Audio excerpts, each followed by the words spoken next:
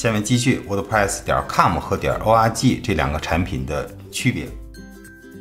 上集讲到了点 com 产品和点 org 产品的上手，很显然点 com 产品上手对于新手来说是非常容易的，点 org 产品会有点难度，但这只是外表给人的感觉而已。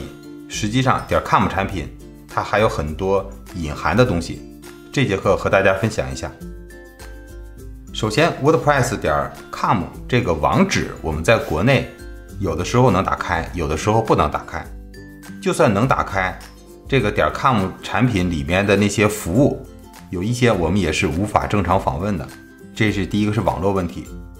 对于点 org 产品来说呢，也存在这样的问题，但是也不都存在，而且是可以避免的。为什么这么说呢？主要在于这个主机上。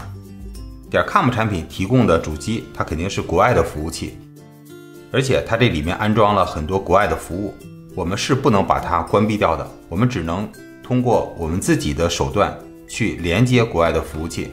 如果你没有手段，是不能够正常使用它这个产品的，或者说不能正常使用它这个产品的某些功能。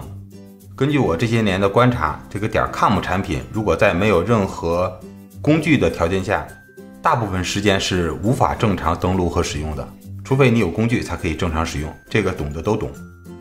那对于点 org 产品来说呢，它是一个程序，这个程序它需要在主机上跑，在主机上运行。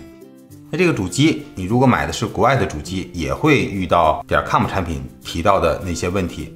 如果你买的是中国国内的机房的主机，运行点 org 产品是没问题的。但如果你用的是国外的主题，还是有一部分功能是被限制的，因为它会访问国外的网络。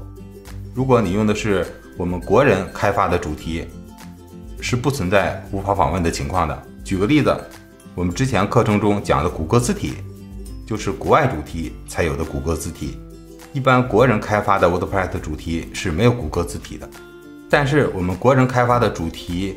使用量和关注度和热度并不高，只有一小部分人在用，更多的人还是在用国外的主题，因为他们的主题更完善，功能更多。